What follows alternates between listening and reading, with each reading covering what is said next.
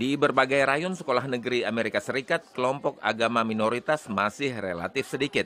Namun di Montgomery County, Maryland, populasi muslim mencapai sekitar 10 persen. Baru-baru ini ada usulan untuk meliburkan sekolah pada hari-hari besar muslim.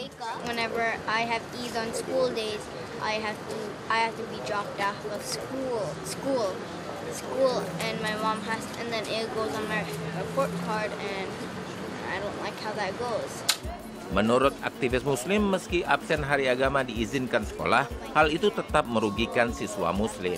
Classes are still in session, so they still miss classroom instruction. Teachers will still teach. If there's exams that are going to be scheduled for that day, there will still be exams that students will miss out on if they decide to take off for school. Montgomery County adalah salah satu kawasan dengan tingkat pendidikan terbaik di Amerika.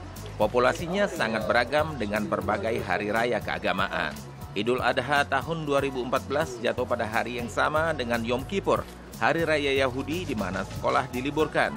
Baru-baru ini orang tua muslim menghadap Dewan Pendidikan setempat. Permohonan mereka didukung oleh seorang rabi Yahudi. Namun anggota dewan bersikap skeptis. I don't think we should have any mention of specific religious holidays in our calendar because we are a public school. All in favor? Mereka justru menghapus semua hari raya keagamaan dari kalender sekolah, termasuk Natal. It seems like somebody's bending over backwards really, really hard to try and not uh, give equality to the Muslim community. So far, Hal ini disesalkan aktivis Muslim.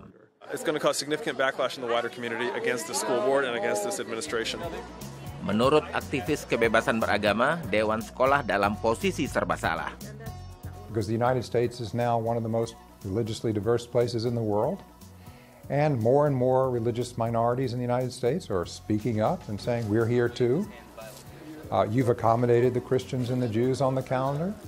What about us? Menurutnya, jika jumlah minoritas cukup besar, terlalu banyak murid dan guru yang akan absen, sehingga sekolah terpaksa libur. But absent that argument, the school board may not do it without violating the First Amendment.